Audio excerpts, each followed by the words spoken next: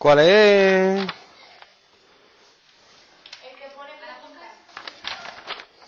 Dice, Marta ha gastado tres cuartos de su ahorro en un viaje. Viaje, tres cuartos, el viaje que te voy a dar. Y dos tercios del resto en el vestuario.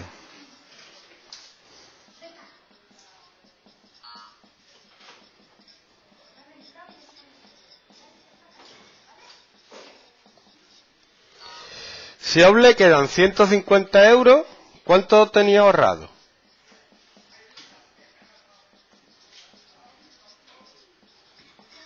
Bueno, pues esto es muy fácil. Te coge, si se gasta en el viaje tres cuartos, le quedan uno, un dinero que tenía al principio, menos tres cuartos que se ha gastado, le queda un cuarto. ¿Vale? Ahora, ¿cuánto se gasta en el vestuario? Dos tercios del resto de lo que le quedaba. En el vestuario se gasta dos tercios por un cuarto. Que es dos partido doce, que es un sexto.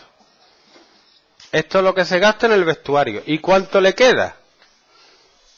Pues le queda lo que le quedaba antes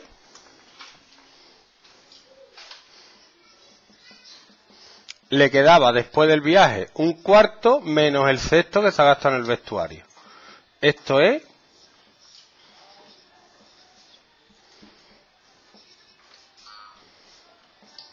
un doceavo. Entonces le queda al final del todo un doceavo. Y te dice que le quedan 150 euros, que es un doceavo. Un doceavo son 150 euros. Entonces, ¿cuánto dinero tiene el principio?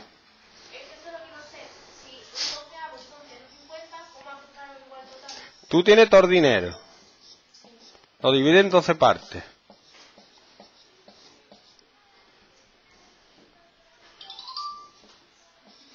Y una parte de eso son 150 euros. Entonces, ¿cuánto es el dinero en total? Ajá. Como se lo explicaron a Celeste, que se enteró muy bien.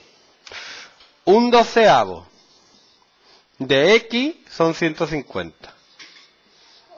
Entonces, para calcular X, lo que tienes que hacer es multiplicar 150 por la inversa de la fracción. Así es como lo aprendió Celeste. Y le va de escándalo.